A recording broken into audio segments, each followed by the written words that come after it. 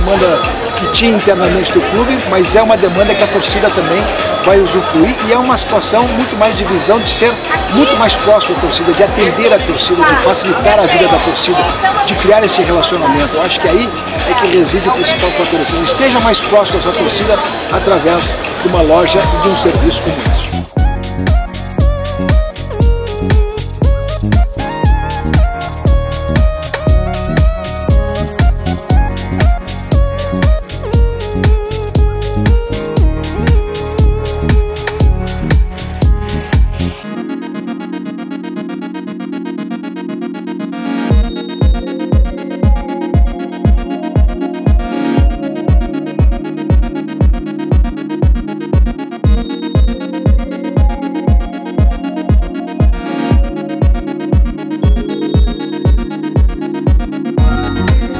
Próximo, mais próximo do centro consumidor, onde passam mais pessoas.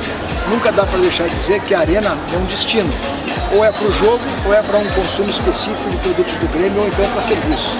E estas situações são situações onde o torcedor, o nosso associado, o nosso aficionado se desloca para lá. Aqui não.